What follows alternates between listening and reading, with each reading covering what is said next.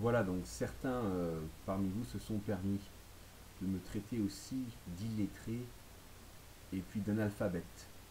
D'accord? Parce que je fais pas attention, des fois sur Facebook, je tape rapidement. Euh, voilà. Et puis donc je laisse un petit peu euh, négligemment un petit peu mon orthographe parce qu'il y a des lettres qui se mélangent parce que je, vais rapidement. je pense pas trop aux lettres, je pense plus à ce que, j'ai envie d'écrire. D'accord? Et puis des fois je prends pas le temps de corriger. Alors qu'est-ce que je vaux au niveau, au niveau lettres? Niveau de mon alphabet Je vais vous montrer. Voici mon résultat du bac. Vous avez trois notes ici. Trois notes ici. Les trois premières notes, vous avez 14, 16 et 17. 14 donc en, français, à l'écrit, 16 donc à l'oral, et vous avez 17. Vous avez ma note ici de 17 en lettres. Voilà. Et vous savez quel était mon sujet de lettres? Alors mon sujet de lettres, je vais vous le dire. C'était Léopold Sédar Sangor et c'était la négritude.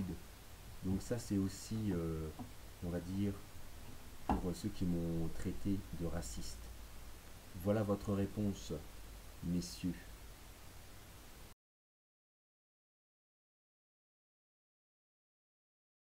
Alors pendant qu'il y en a qui sont fichés euh, sur le mur de la euh, INBA France, ben, ils préfèrent critiquer plutôt que d'assumer un petit peu leurs échecs. Donc je vais répondre un peu à la totalité de ce qui a été, de ce qui a été dit.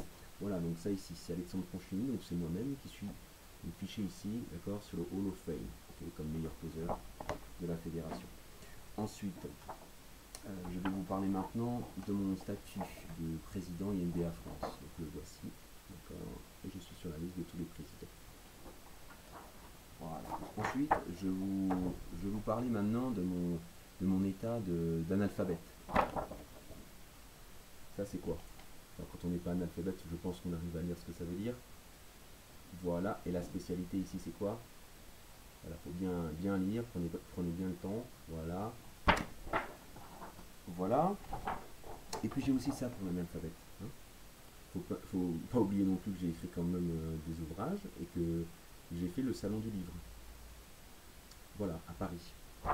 J'ai exposé et où j'ai été interrogé et interviewé par Canal+, devant tout le monde et euh, devant toutes les questions euh, des gens qui passaient par là et qui n'ont pas manqué, croyez-le bien. Alors, voilà, donc je crois que j'ai répondu à tout ça, d'accord, en 1 minute 30.